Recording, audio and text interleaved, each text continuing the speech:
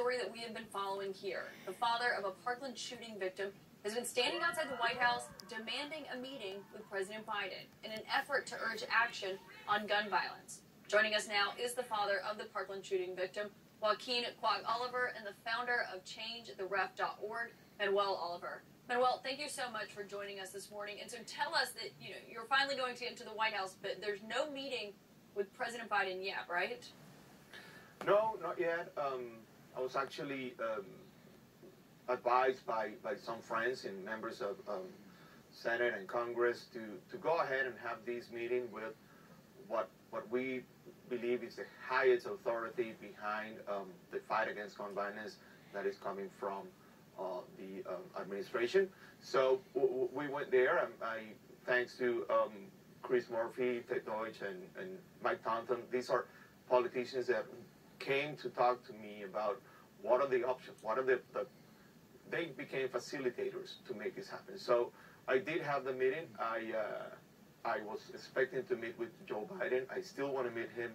Um, but then we went back and forward with different points uh, that I would love to share with you guys. Um, Ted Deutch, obviously the congressman uh, of Parkland, where Parkland is. Uh, Chris Murphy, who is now a senator but was the congressman where the Sandy Hook shooting took place. So these are political leaders who have a very intimate knowledge and experience with school shootings.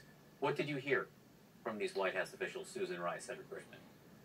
So there was a lot of um, uh, information about things that the administration has accomplished, and we already celebrated all of those.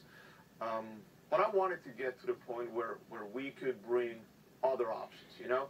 Um, it's true that President Biden has, has done um, more than uh, probably any other president when it comes to uh, defeat, try to defeat gun violence. However, people still die, and that was my point yesterday inside that office. Like, I understand your intentions. Um, this is it. That that's the group that is um, representing um, the fight against gun violence. That's like the opposition of the NRA and, and the gun industry and the gun lobby. So I think that we should uh, have more people involved. That's what we um, um, thought and, and exchanged with them. When I say we, I'm talking about Fred Guttenberg and myself. And um, also the, the call for, uh, for urgency, right? Like, we really need this to happen. Um, we were there for more than an hour, which I appreciate. But you know what? During that hour, at least four people were shot and died because of gun violence. So this is not about things that we have been able to do.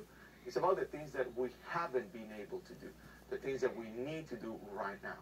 And one of those things is signing legislation. And President Biden has said, you know, he'll sign it if it comes to his desk, but there has been none passed by Congress. There's no real momentum behind any of it. So what did White House officials say to you about a push that they're going to make, if they're going to make one, when it comes to this? Well, that's that's what I see as an absence of a plan um, against gun violence. Like I cannot, I, and this is my personal thought.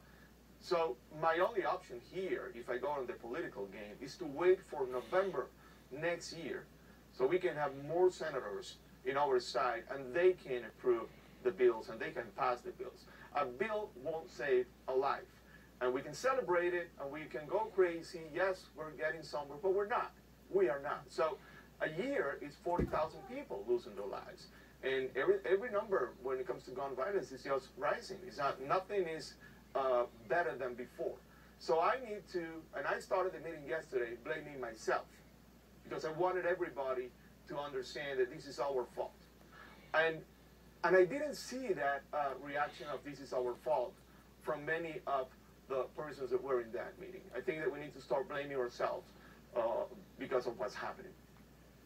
Manuel, I know that this has obviously been very close to your heart. You stood outside the White House for several days saying that you would stay there throughout Christmas if you needed to. I know you said that Christmas has not been the same, of course, since you lost your son, and we're very sorry for that, and we'll be thinking of you over the holidays. Yeah, um, you know what? That's not a sacrifice. If you consider that my son was shot four times, he was still alive when he was shot again twice. Um, that's a sacrifice. That's pain. Um, and I want to make this very clear. We have been discussing, debating this, which is not undebatable. We, this shouldn't be a debate behind uh, if we agree or not that innocent people should die just because of no reason at all, and we can live a normal life with that. From now on, Manuel Oliver, the followers of Manuel, the followers of Joaquin, the people that the universe that is fighting against gun violence will show zero tolerance. And if the administration is not making that call, which we asked yesterday, we asked yesterday that we needed President Biden to create, to, to, to declare war to gun violence during the speech at the State of the Union. However, if he doesn't, we will. But not me by myself. Everyone that is listening to me right now, they know that we had enough. And we're going to make this happen. And the kids are with us. Zero tolerance to gun violence starts now. And we will go from every single angle. This is not about go, uh, owning a gun or not. You are not the center of the universe, Mr. Gun Owner. This is about people dying. Manuel Oliver, um, we appreciate everything you've done. It breaks my heart a little bit to hear you blame yourself for action not happening, but I understand what you're saying. Everyone should be blaming themselves right now. Thank you so much for being with you. Thank you. Thank you very Thank much. Have a great day.